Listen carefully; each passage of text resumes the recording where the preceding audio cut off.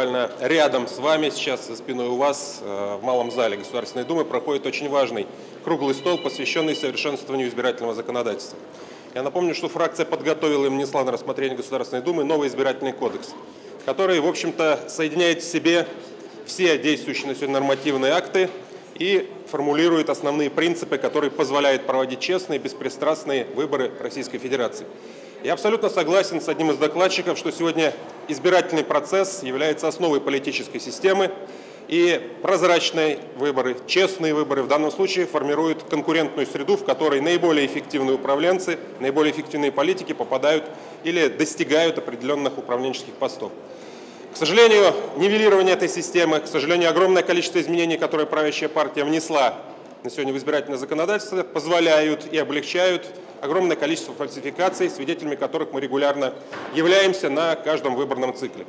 Именно это приводит к власти неэффективных людей, неэффективных управленцев. Именно от этого следуют потом неэффективные решения, неэффективная экономика, и в том числе некоторые даже неэффективные проявления и в военной среде, которую мы сегодня наблюдаем. Это все следствие вот этой медленно прогнивающей системы политической, которая вместо того, чтобы обновляться через избирательные процедуры, через выборный процесс, консервирует сама себя. Поэтому в, этом, в этой связи избирательный кодекс ликвидирует или убирает все те нововведения, которые были внесены в избирательную систему Российской Федерации за последние 10 лет. Это электронное голосование, это многодневное голосование, это голосование на дому, это множественные преференции, которые облегчают воздействие административного ресурса и делают систему, на наш взгляд, абсолютно правильной, абсолютно доступной и самое главное, чтобы из этого дальнейшее развитие Российской Федерации, политической системы Российской Федерации невозможно.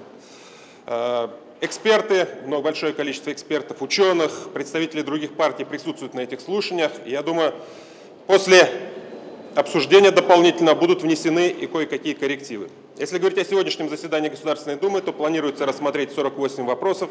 Это вопросы, связанные с бюджетным законодательством, о которых расскажет Евгений Иванович. Это вопросы, связанные с э, новыми мерами социальной поддержки и вариантами присвоения звания ветеран боевых действий для добровольцев, это тоже скажет Евгений Иванович. Но, кроме того, э, в нынешнем скажем так, э, в нынешней повестке дня будут рассмотрены вопросы и наши законопроекты, связанные с возобновлением или возвращением индексации пенсий работающим пенсионерам. Я напомню, это уже пятая попытка вернуть с нашей стороны, пятая попытка вернуть, на наш взгляд, совершенно несправедливо отнятую индексацию пенсий рабочих пенсионеров.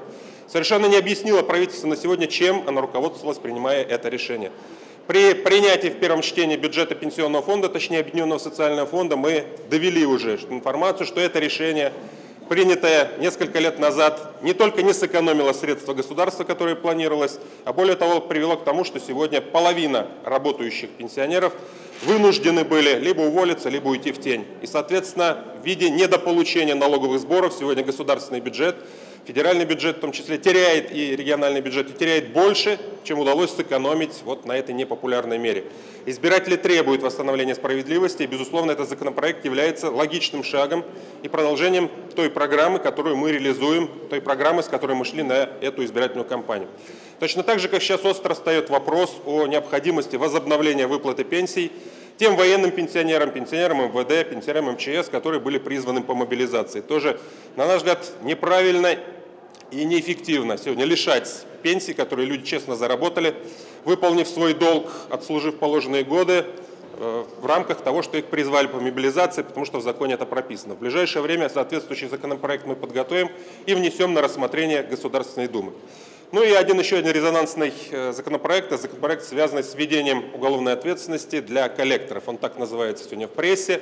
То есть за незаконные способы побуждения граждан к выплатам долгам. Я напомню, огромное множество. Это и угрозы, это и поджоги, это и уничтожение имущества, это психологическое давление. Сегодня это все в арсенале так называемой службы коллекторов против, э, скажем так, учреждения, которое мы возражали еще на этапе, когда она появлялась. Мы требовали запретить эту коллекторскую деятельность как таковую и передать ее полностью банкам, чтобы они ее осуществляли абсолютно прозрачно, честно. Но вот видите, к большому сожалению, все это приобрело массовый масштаб, все это сегодня угрожает правам наших граждан, все это вызывает массовые нарекания со стороны граждан, и правительство же со своей стороны вынуждено внести вот такой ограничивающий законопроект в виде новой уголовной статьи, в виде ужесточения ответственности за незаконные способы побуждения граждан к возвращению долгов. Мы этот законопроект, безусловно, поддержим, но, повторяю, он не устраняет само зло, он не устраняет сам вот этот вот совершенно ненужный, неэффективный с точки зрения воздействия институт, который существует и который создает огромное число и нарушений, и ущемлений прав наших граждан, ну и самое главное, в данном случае подрывает в том числе и веру какие-то наши государственные институты.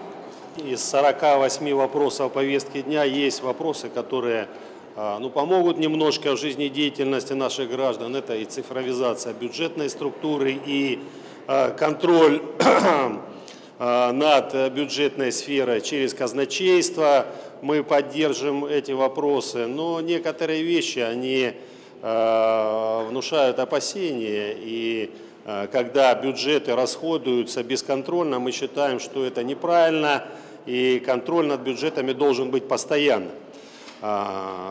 Рассматривается закон о ветеранах, который по нашей настоятельной просьбе наших товарищей а, включает а, в число ветеранов тех добровольцев, которые сейчас сражаются на полях сражения. Но мы еще о чем говорим. Если мы не вернемся к своей истории и не посмотрим, кто же побеждал и когда побеждал, то побед сейчас не будет. Почему забыты ветераны-кубинцы, участники Карибского кризиса? В этом году, несколько неделю назад, 60 лет со дня Карибского кризиса, до сих пор эти люди не являются ветеранами. К сожалению, правительство, а, ну кто-то, или пятая колонна, или кто-то сопротивляется поддерживать тех, кто осуществлял победу в нашей стране. Напоминаю, что во время Карибского кризиса, результатом Карибского кризиса было отвод ракет из Турции, из Европы, и а, мы поставили на место Соединенные Штаты Америки. Почему сейчас не рассказывают об этом? А, почему взятие дворца Амина в считанные часы э, и этих людей а, не говорить об их подвиге? А, почему наши предложения, которые мы в начале спецоперации, еще 8 месяцев назад говорили о том, что необходима мобилизация промышленности, отменить на 44-й закон, который на два месяца тормозит принятие любых решений. Этот закон, который нам навязал Международный валютный фонд. До сих пор законы пятой колонны действуют у нас в Российской Федерации. Почему э, принимается решение о том, чтобы в декабре поднять э, стоимость тарифов? Кто-нибудь может объяснить? Есть математики здесь, уважаемые товарищи, когда э, по которой выплачиваются дивиденды «Газпрому» триллион двести миллиардов рублей – это не все доходы. Есть доходы «Газпрома» огромные.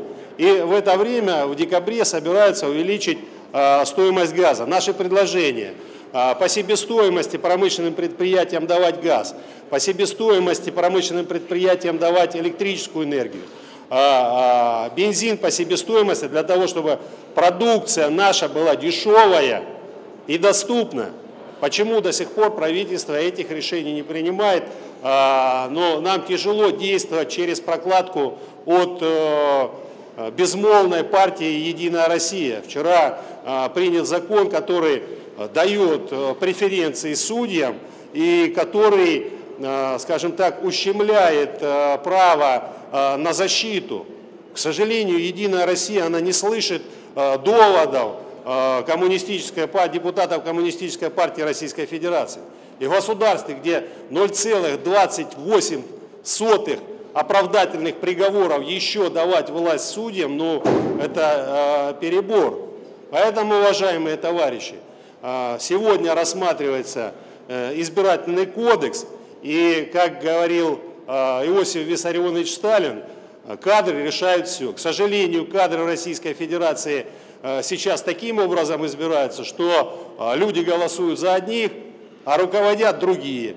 Поэтому, я думаю, кодекс, который мы разработаем, необходимо поддержать и все-таки людям более активно включаться в борьбу за свои права.